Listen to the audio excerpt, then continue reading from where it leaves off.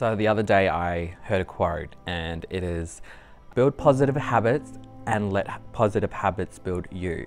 So that brought me back to my childhood in wanting to create something better for me as well as, you know, something to encourage me to get out there and get open and do something outside of my comfort zone that I wouldn't normally do. So that's something this year that I've made a top priority to set a new goal for myself to venture out and try new things, build new communities, build new relationships with people.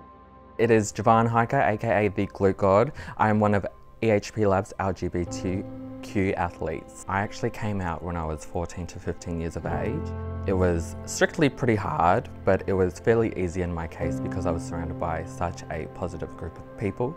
So the next thing I decided to do was probably not the best, but I had written a Facebook page in, I guess, to finally come out to everyone, close friends and family, and it was it was probably one of the best and one of the most, I would say, good things I could have done for myself at the time because I was so young. I am now turning 24, turning 25 at this stage. So it has been a little bit of a long time, but in order to write this post and posting it, I got a lot of good feedback, but I also ended up getting a lot of, I could say, negative feedback too. So one of them who didn't really know and actually found out was my mum through the Facebook post where I had come out and I was at work that day and it was sort of a shock when I got home because obviously coming from her point of view, she was very I would say upset that I hadn't told her, but it was kind of a good and bad thing because it did lead to obviously us having a few difficult times, but at the same time, it brought us closer together. So yeah, just like my best friend. Going through this journey, I found a self-relief of going to the gym. So after high school, I took a gap year off from high school just to see what I wanted to do with my life and I couldn't really figure out what I wanted to do so I ended up doing a little bit of retail work, found out that wasn't for me and then I was at home for like six or seven months and my mum got a little bit ha of me at home. So around about 2018, I ended up getting my first full-time job in the logistics industry. Ended up loving it because I love being physical and active. In that case, I still had a lot of men mentally built up emotion mm. and so I ended up getting my first gym membership. So that was a little bit of a, I guess, a little bit of a self-relief I would call me time. So I would always go to the gym.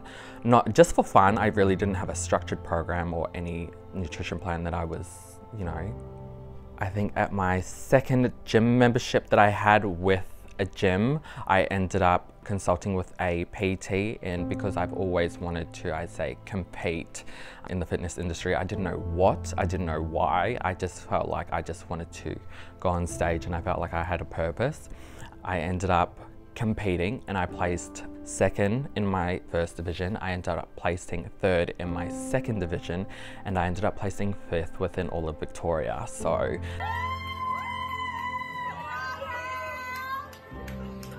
after the prep and I still had a body and I still wanted to, I guess, be something other than, you know, as well as an athlete, be someone who could, you know, aspire other athletes or in the LGBTQ community to look up to. So I thought, you know what, I'm going to continue with this. I'm going to see where it leads me.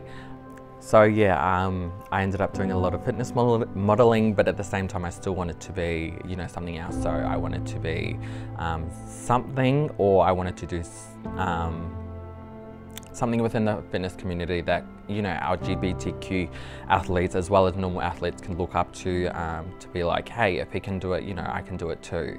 And so, um, you know, prepping through COVID was hard, but if I can do it, anyone can do it. But also other than that, anything you, you know, put hard work and effort into, you can, you know, accomplish anything. So I think that's the good thing about, you know, having a mental strong mindset is that, you know, anything is possible. And um, yeah, it's just crazy to see once you're outside of your comfort zone what you can achieve. How I came to find EHP Labs was I had just started out of the gym. I had no recollection of supplement brands and pre-workouts and proteins and what was good for me, what was not. Um, I ended up finding that I was a little bit, um, my stomach didn't agree with certain foods and certain drinks and dairy and blah, blah, blah. And it's just, um, I had to find something that was good for me first time I had actually tried EHP Labs, um, I ended up buying a passion fruit flavored OxyShred. And um, I had one scoop, tasted amazing, um, went down really well. It gave me a good pump. So I ended up sticking with that brand. Um, that was around about 2014, 2015 too. So that was pretty cool. Um, and yeah, so I've stuck with them ever since. And yeah, to this day, I haven't stopped using their, you know, products. Um, so, and not to say that I am an EHP athlete, it's crazy. So, that's something I never thought I would ever accomplish, let alone work with them. So, that is a big stepping stone for me because it's like a pinch me moment. It's like the Nike of the shoe brands for me working with them. So, I think that's pretty cool. Um, to yeah, say you grow up and always wanting to work with a supplement brand or a brand in general that you've looked up to and now you get to say you you know you're a part of that team or collaboration. That's pretty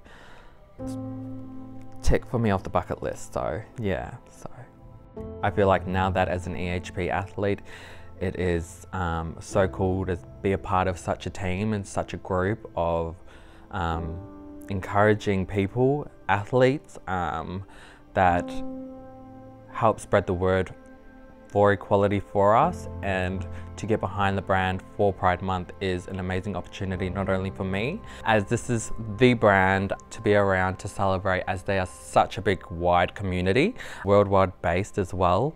I love that we get to celebrate and incorporate us and to celebrate us as the LGBTQ community as an individual for Pride Month, so I'm very proud to be an athlete to be advocating that for them.